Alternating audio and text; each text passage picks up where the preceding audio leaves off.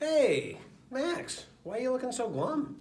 Mike, I got some big gas problems. Big gas problems? What do you mean you've got big gas problems? Well, Mike, I'm just not getting the mileage that I thought I would on my current vehicle. A lot of our customers have big gas problems. We offer big gas savings. I've got an 18 Ford Fusion Hybrid that's going to take care of your big gas problem.